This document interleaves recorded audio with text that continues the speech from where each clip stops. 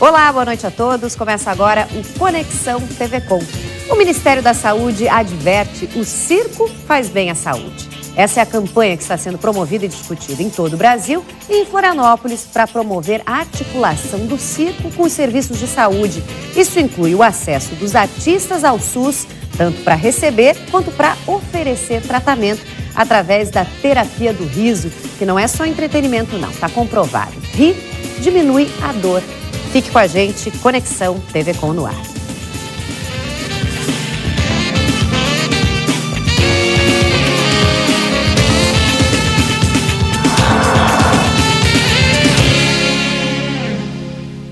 A integração do circo com os serviços de saúde. Esse é o assunto do programa de hoje. Você também pode participar do Conexão TV Com, deixando sua pergunta ou comentário no nosso Twitter, arroba Conexão TV Com, ou também pela nossa fanpage no Facebook. E ainda pode nos mandar um e-mail para o conexãotvcomsc.tvcom.com.br.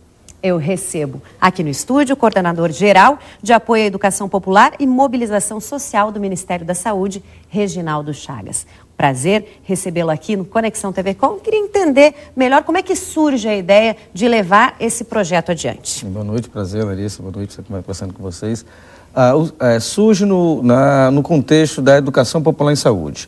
O Ministério da Saúde ele vem alargando a sua relação com, com o movimento social, apesar das, dos instrumentos de controle social existentes no Ministério, como a 14ª, como as conferências, nós precisamos dialogar com as pessoas, o SUS tem que estar no seu dia a dia. E a Educação Popular em Saúde, ela propõe a multiplicidade de olhares culturais e saberes que faz esse mosaico cultural brasileiro. E o circo, ele tem em todos nós uma lembrança, né, quando criança, é, quem não assistiu o circo, quem não, quem não viu o seu primeiro animal no circo, quem não sorriu no circo.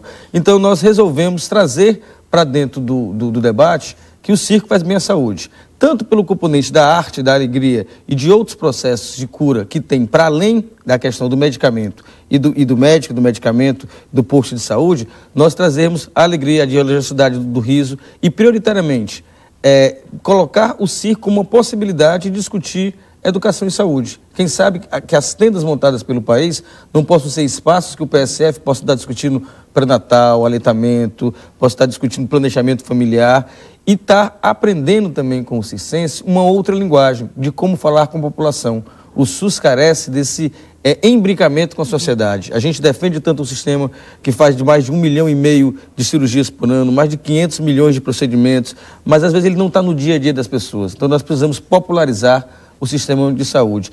E o circo, além de trazer uma carga em si de cultura muito grande, ele favorece esse debate. Por isso a escolha, o ministro Alexandre Padilha abraçou a ideia, lançou é, em março do ano passado a campanha O Ministério Adverte Circo Faz Bem à Saúde e nós fizemos uma primeira oficina em Fortaleza estamos aqui em Florianópolis discutindo com a Secretaria Municipal de Saúde, com a Secretaria Estadual de Saúde e com a Aliança Pro Circo, que reúne as três grandes associações de circo do país, propostas tanto para a garantia da, da saúde da população circense, como para incluir é, o circo no debate de promoção à saúde, né? porque saúde não é só ausência de doença.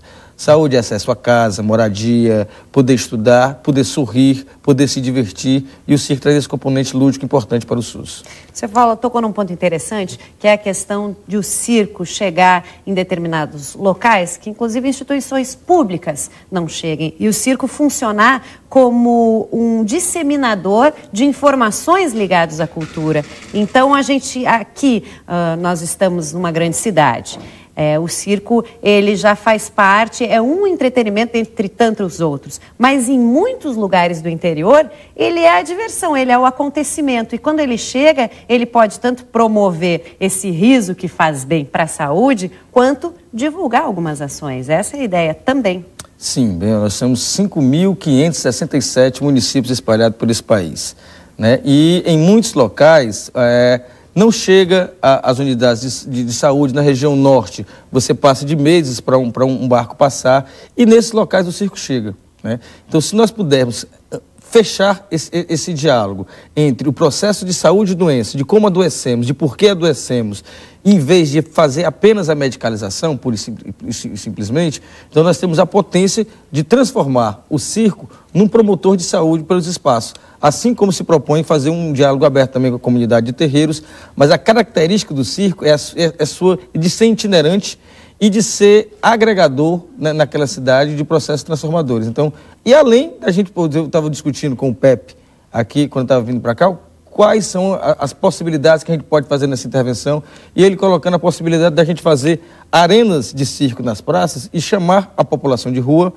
para, através da arte circense, ter um outro olhar sobre a vida, sobre a sua autoestima, sobre até trazer processos aglutinadores de, de renda para aquelas possibilidades. Então, nós temos um, possibilidades mil. Nós estamos iniciando esse debate, está sendo muito fértil a participação dos artistas circenses, principalmente da, do, dos gestores de, do SUS de Santa Catarina e de Florianópolis. Nós esperamos aí sair daqui amanhã com uma agenda de compromisso para a implementação disso aqui no Estado. Agora, Reginaldo, é uma abordagem bem nova. Eu confesso que ao receber o material de vocês, eu não entendi exatamente o, qual era o projeto do Ministério da Saúde e me parece que lá no Diário Catarinense também houve algum desentendimento com relação a esse assunto, por isso eu abro a nossa conexão de hoje com o subeditor de geral, André Lickman. Seja bem-vindo, André, ao nosso programa. O que, é que aconteceu aí? Vocês também discutiram essa pauta, tentando entender qual era essa do Ministério da Saúde, né? É, oi, Larissa. Boa noite. Boa noite, Reginaldo. Boa noite. A gente teve, a gente teve um desentendimento, na verdade, na reunião de pauta. Uh, chegou essa, chegou, chegou essa informação. Vamos, vamos falar a respeito de, de saúde e circo. A primeira ideia que veio na cabeça era aquela, aquele trabalho que é meio conhecido já pela, pelos doutores da alegria, os agentes do riso. E depois, quando a gente leu melhor a pauta, a gente se deparou com essa. É, é, como é que como é que dá para chamar isso? Essa, abordagem, esse né, trabalho né, que eles estão levando eles estão eles estão levando uma, esse trabalho não apenas para as pessoas que vão ao circo, mas para as pessoas que fazem o circo. E eu achei isso muito interessante, que acabou sendo a linha que a gente seguiu na matéria, na matéria que a gente soltou hoje. É, quer dizer, são esses dois. E até eu, eu... Pode fazer a pergunta, André, fica à vontade. Sim, desculpa, Larissa. É, que eu, eu queria saber do, do, do, Reginaldo um pouco como, como que eles detectaram essa, essa necessidade. Queria que ele explicasse um pouquinho esse trabalho da, de levar o SUS para as populações itinerantes, né, os artistas itinerantes, na verdade, e entender um pouquinho desse trabalho, como é que eles estão fazendo e como, como é que está a recepção disso, como, como é que está a, a, a, adesão disso dos artistas, como é que eles estão sentindo desse trabalho aí junto ao SUS. Reginaldo, excelente questão para o nosso próximo bloco. A gente volta já já.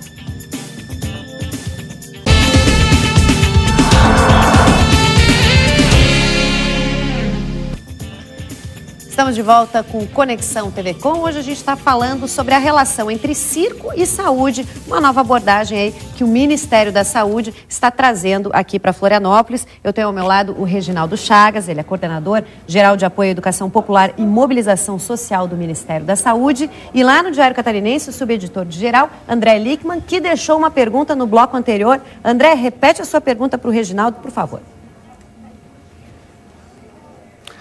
Então, Reginaldo, a gente foi tomado um pouco de surpresa, né, sobre a, esse trabalho que vocês estão fazendo junto ao SUS, tentando levar o, o, o artista circense, o artista que a gente chama de itinerante, ao atendimento do SUS. Eu queria entender um pouquinho mais como é que isso está sendo feito, como é que está sendo a adesão desse tipo, desse tipo de artista é, com esse trabalho que vocês estão fazendo.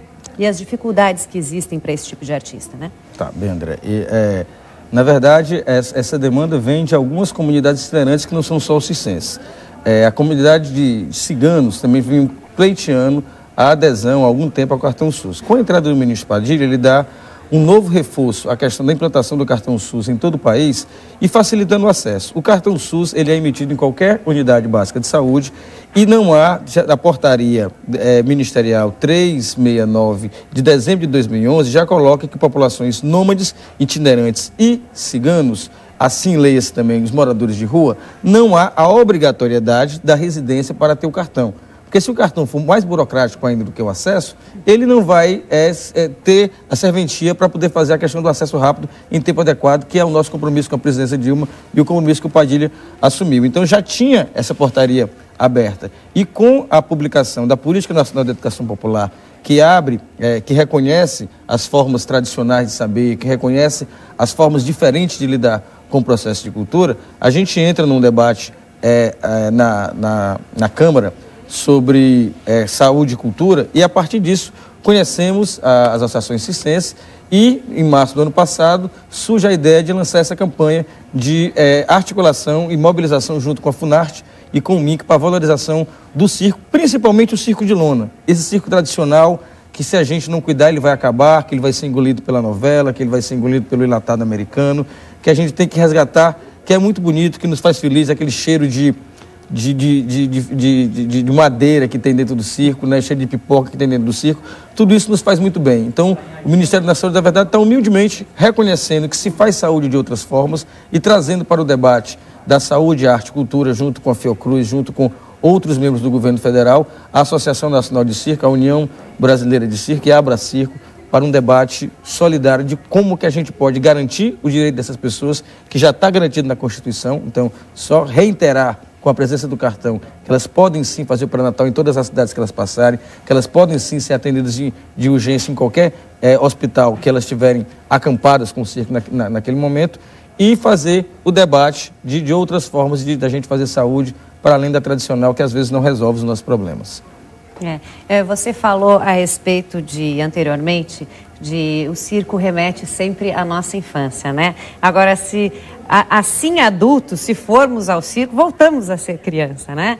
É, eu não sei se vocês, gostaria de saber se vocês acompanharam, por exemplo, o filme recente O Palhaço, do Celton Mello, que é um filme belíssimo, lindíssimo, dá vontade de sair correndo e ir para o circo mais próximo. E mostra exatamente isso que nós conversávamos, que é chegar em lugares distantes, onde praticamente é vir a felicidade e o assunto do lugar. E aqui em Santa Catarina a gente tem o Circo Teatro Biriba, que é uma família de palhaços que vem levando aí alegria para gerações e continua fazendo espetáculos maravilhosos, uh, inclusive no litoral catarinense, em cidades muito uh, uh, que recebem muitos turistas e estão dispostos sim a a, a, enfrentar, a assistir esse tipo de espetáculo que às vezes parece um pouco atemporal ao nosso tempo.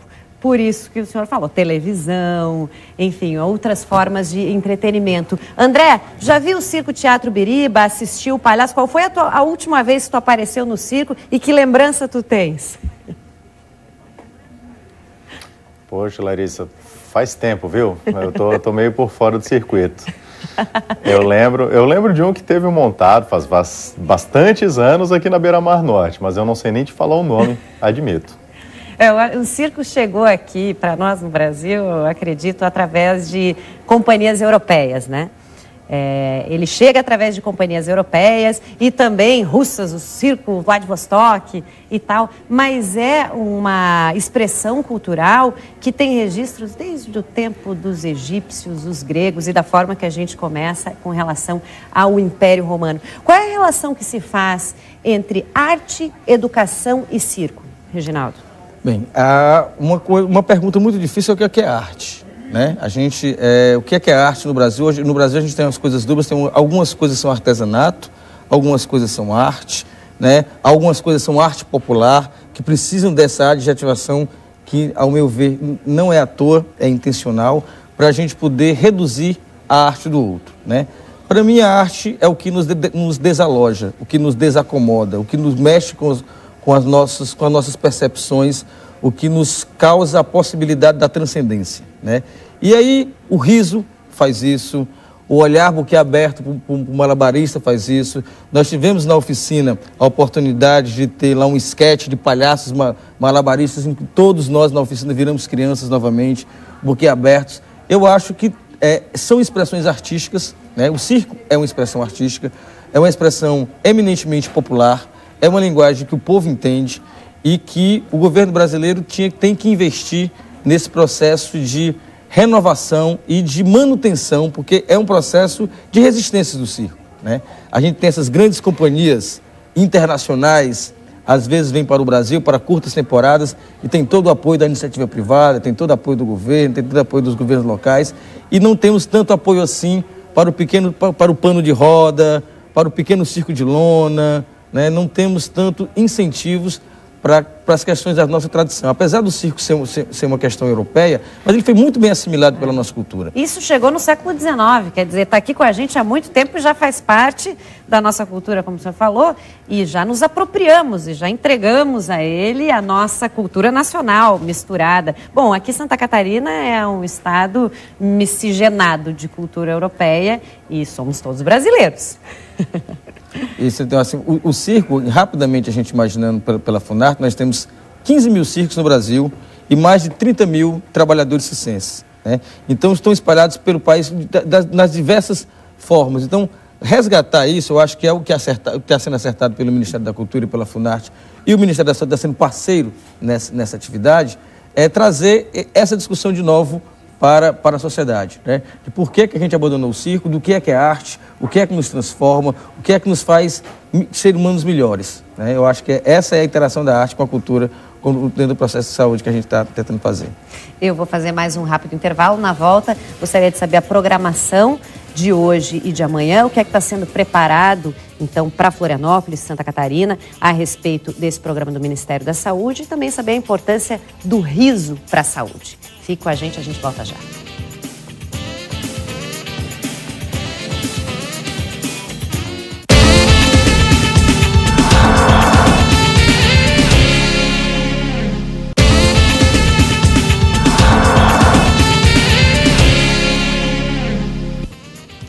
Estamos de volta com Conexão TV Com. Hoje o nosso assunto é a relação entre circo e saúde. É um programa do Ministério da Saúde que está chegando a Florianópolis. Durante o intervalo, apareceu aqui no estúdio o Pepe Nunes, um palhaço muito conhecido nosso, e ele trouxe o cartão dele do SUS. E através do cartão do SUS, a gente vê que o palhaço ou artista circense, ele tem o nome dele, o nome de identidade, e tem também no cartão do SUS o nome do palhaço, ó, palhaço Pepe Nunes. Quer dizer, para o sistema de saúde também compreender que sim, ele está tratando um palhaço, assim como o palhaço muitas vezes já tratou o pessoal do sistema de saúde através da terapia do riso. Eu tenho aqui até algumas informações a respeito de pesquisas feitas. Essa aqui é uma, é uma pesquisa de 1987 que fala que rir, ao contrário de uma simples distração, reduz a sensibilidade à dor, o que sugere que a técnica pode ser utilizada como recurso clínico, que durante a gargalhada os níveis de hormônios do estresse baixam, com menos cortisol e adrenalina circulando no organismo, o sistema imunológico é fortalecido. Bom, então a gente tem aqui uma explicação científica, Reginaldo e André, para algo que é empiricamente a gente já sabia. André, te pergunto, quando está maleixo e tem a oportunidade de relaxar, passar por um momento de alegria e dar umas boas gargalhadas, automaticamente a gente já se sente melhor. Acontece, então, né? Não é legal saber que uma, uma gargalhada pode ser melhor que um chocolate. Já pensou só? é, basicamente é o mesmo efeito que tem. E além disso, tem o um efeito social, né, Reginaldo? É, a gargalhada ela tem um efeito imunológico comprovado, ela, ela reforça as defesas imunológicas, né, libera a serotonina, que faz uma série de descargas imunológicas e hormonais que nos fortalecem. E isso todo mundo sabe é, o quanto faz bem uma visita quando a gente está adoentado, o quanto faz bem aquele amigo, aquela amiga que sempre consegue lhe tirar do problema. E como faz bem quando você sai de um espetáculo ciência, quando você sai dessas, possi dessas possibilidades é, recreativas, que você ri, que você se diverte. Aí nós estamos só comprovando o óbvio. Né? Ah, mas às vezes o óbvio é importante ser dito, né? de que é, o nosso adoecer está dentro de nós também. Hoje nós estávamos eh, já falando um pouquinho sobre é, atividade de, de, de, hoje lá no, no, hotel, com o Vitor por Deus, que trabalha com a questão de, do, da doença mental através da, da, do amor incondicional, do afeto incondicional, baseado numa grande psiquiatra chamada Início da Silveira, tem o Museu do Inconsciente no Rio de Janeiro, e ele trabalha com a, a, o, o Hotel da Loucura, onde tem um antigo manicômio, é aberto, e os ditos doentes mentais são incorporados em técnicas circenses, técnicas de, de arte e cultura, e andam pelo pátio e produzem artes a partir do seu inconsciente dito não normal por, por uma sociedade. Então, a possibilidade da troca da medicalização pelo afeto, pela interação, pela sinergia com o outro ser humano, independente se ele, se ele seja diferente de você, que ele raciocine diferente de você. Ontem eu estava lendo uma reportagem na Folha de São Paulo a respeito daquele artista, o Arthur Bispo, que passou muito tempo dentro de um manicômio e fez instalações maravilhosas que agora, que agora vão vir a público. Quer dizer, é possível sim, são é, exemplos de que é possível sim congregar e deixar. Uh, e foi através da arte que esse artista conseguiu se expressar coisas que ele não conseguia se expressar com as pessoas, que ele não conseguia interpelar com a sociedade. E através de um pincel, de um quadro, ele o colocou. Então, a arte ela tem um poder muito grande de libertador na nossa alma e na nossa vida. Arthur Bispo do Rosário. André, tens uma pergunta para o Reginaldo? É, eu queria, eu tenho, eu tenho um pouco de interesse na, na, nos eventos que ele está fazendo. Ele frisou para gente que essa é, é, a segunda oficina. A primeira foi em Fortaleza, isso, é isso mesmo? Eu queria saber um pouquinho até onde vai isso, né? Onde, onde é que estão chegando? Qual, qual, é o tipo de fruto que já estão colhendo efetivamente com a classe artística? Assim, queria saber um pouquinho como é que estão fomentando os artistas nesse caso. Como é que está, Reginaldo? A nossa articulação ela é prioritariamente com a essas associações brasileiras de artistas circenses. Então, inclusive, a indicação das cidades é tirada no, no, no, colegiado de circo. Então, hoje à noite a gente vai ter uma outra reunião para estar conversando. Eles estão vendo com muito bons olhos, então a, a, a, sensação de que a gente tem é de que tinha uma invisibilidade nesse tema, principalmente em relação à saúde, de não poder ter acesso, ter esse, esse acesso negado, da gente estar, tá, muitos deles estão levando o panfletozinho para o posto de saúde, assim, ó, o Ministério da Saúde disse que eu tenho direito a, a esse atendimento. E, e, e, possibilitando um diálogo entre os artistas locais, eh, no caso aqui em Santa Catarina, e gente da articulação circense do Brasil, que está vindo para cá para discutir seus direitos, como é, como é que pode ser uma integração com o Estado sem submissão, sem, sem cooptação, como é que a política nacional de, de, de circo pode ser pautada pelos próprios circenses, e não a reboque do governo, não a reboque de um, de um discurso governamental. Está sendo uma experiência fantástica para nós do Ministério da Saúde, de aprendizado, de, desse universo que a gente tem. É, no Nordeste, o nível de escolaridade do Cicense é muito baixo. Em Santa Catarina, a gente encontra uma realidade é, é melhor, mas não é ainda a realidade que nós gostaríamos de ter, pela dificuldade do acesso à escola, pela dificuldade que se tem em manter os filhos na escola depois de mudar tanto, e isso já está garantido por lei, essas políticas públicas. Então, eu acho que o que o SUS faz é resgatar uma dívida histórica brasileira de trazer à luz uma população que tanto colaborou para, para a alegria das pessoas e, e, e voltando para a saúde das pessoas.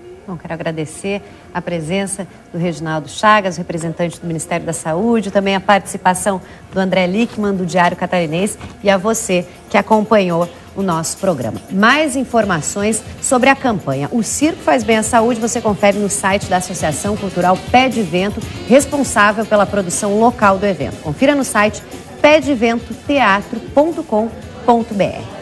No programa de amanhã, nós vamos conversar sobre o lançamento da bandeira Educação do Grupo RBS. O lançamento da campanha foi feito hoje de manhã. Nessa quarta-feira, você confere os detalhes aqui no Conexão TV Com.